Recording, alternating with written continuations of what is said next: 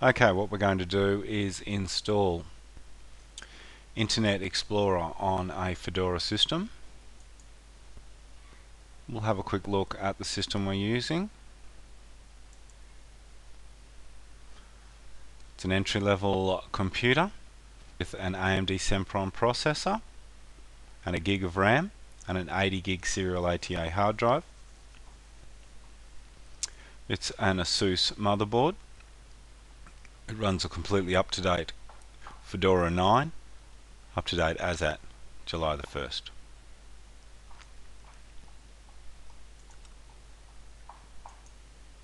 We'll use Crossover to install the Windows software. Go to CodeWeavers, Crossover Linux Professional, download and purchase Professional and you will find that it is a great program. Support the guys over at CodeWeavers. We go to Internet Explorer 6. We click Next. We use an appropriate existing bottle because I've installed other software. Click Next to download and install. Crossover is downloading the information. We have an incredibly fast internet connection here.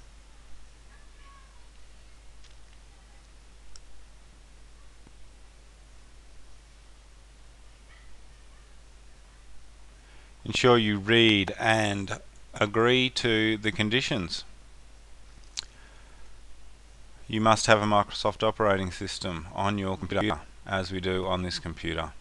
However we don't use it. Accept the agreement. Click next. Initialize setup. Install now typical set of components. Preparing to update Windows. Windows update. Components are installed and ready for use. Thank you for choosing Microsoft products our pleasure. Crossover will simulate a Windows reboot. Now this will probably take longer on your system at home. Just refreshing the desktop manager, not because this system is a high-end system, but simply because you'll have to download your Internet Explorer. So make sure you have a fast internet connection wait for finish to be highlighted. Finish. And there it is Internet Explorer. Let's double click and open it.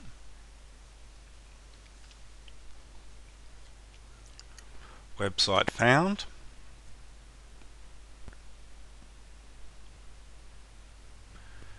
Microsoft downloads IE get it now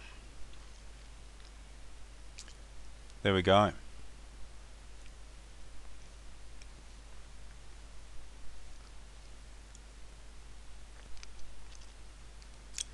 Let's see if we've crashed it.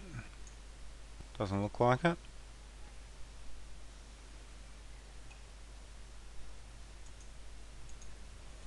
Let's go to Google anyway because we don't need that.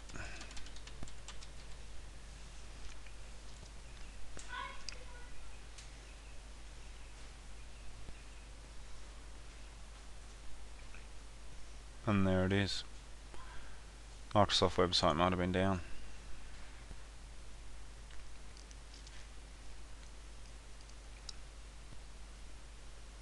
Nope, there it is. IE7 downloads. We don't want IE7.